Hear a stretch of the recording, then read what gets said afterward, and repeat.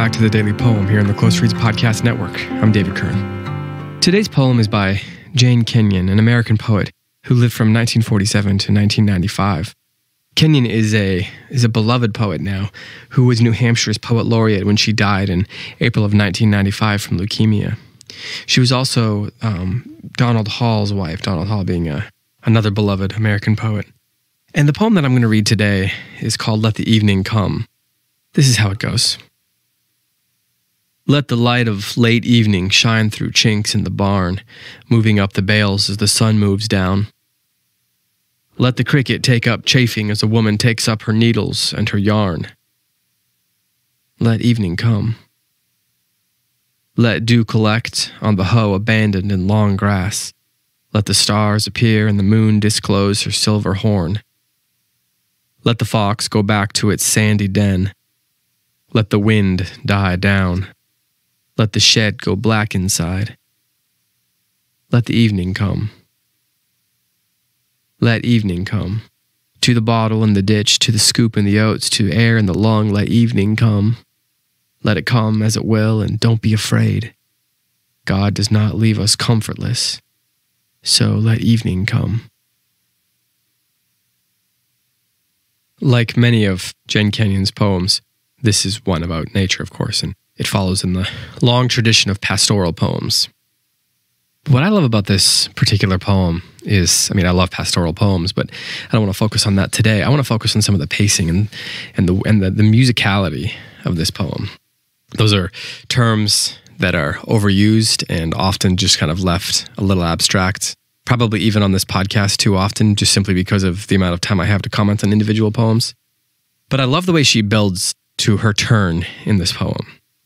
There's sort of a leisurely pace, you know, that sort of late afternoon pace, if you will.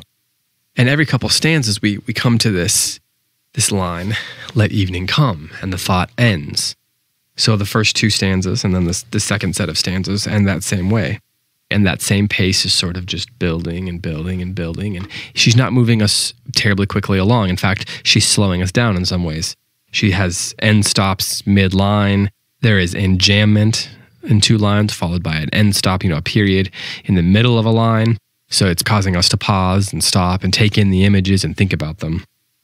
So, for example, stanza three, let dew collect on the hoe abandoned in long grass takes us to the middle of the second line of the stanza, period. Let the stars appear and the moon disclose her silver horn. So she's giving us that pause. She's asking us to stop and think about the image that she's just given us. It's a very specific image, too, right? Let dew collect on the hoe abandoned in the long grass. There's so many different parts of the image that she's giving us to think about to, to add sort of a, a, a tactile um, element to it. And then at our fifth stanza, the pace just picks up all of a sudden. So the first four stanzas have had this sort of leisurely, unhurried, measured, whatever word you want to use, uh, slow pace. And then we get the second example, the second occurrence of let evening come, followed by a period. And thus our first four stanzas are over. And then we get this to the bottle in the ditch, to the scoop in the oats, to air in the lung, let evening come. So she switches her form up here she buries the three images the bottle in the ditch, the scoop in the oats, the air in the lung into one sentence without periods, concluding in a single line with the words, Let evening come. And that's where our turn is there. And the pace is all of a sudden quickened. So I imagine that to be sort of like a winter afternoon, for example, when very quickly the light begins to go. It seems like it's taking a while, taking a while, and then all of a sudden darkness or at least dusk comes on. And that's what I imagine of sort of a correlative for the, what she's doing formally there. And then she gets to reflect on that. Let it come as it will, and don't be afraid. In other words, let it come at the pace that it's going to come. You know, it's going to come quickly when it comes. Let it come as it will, and don't be afraid. Don't be afraid when the dark comes. God does not leave us comfortless. So let evening come.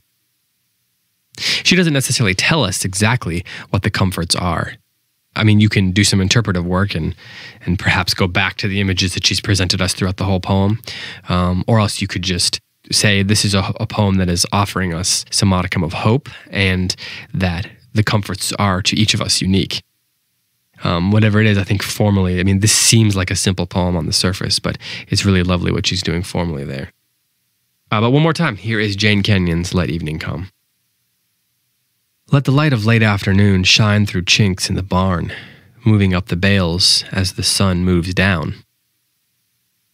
Let the cricket take up chafing as a woman takes up her needles and her yarn. Let evening come. Let dew collect on the hoe abandoned in long grass. Let the stars appear and the moon disclose her silver horn. Let the fox go back to its sandy den. Let the wind die down. Let the shed go black inside. Let evening come. To the bottle in the ditch, to the scoop in the oats, to air in the lung, let evening come.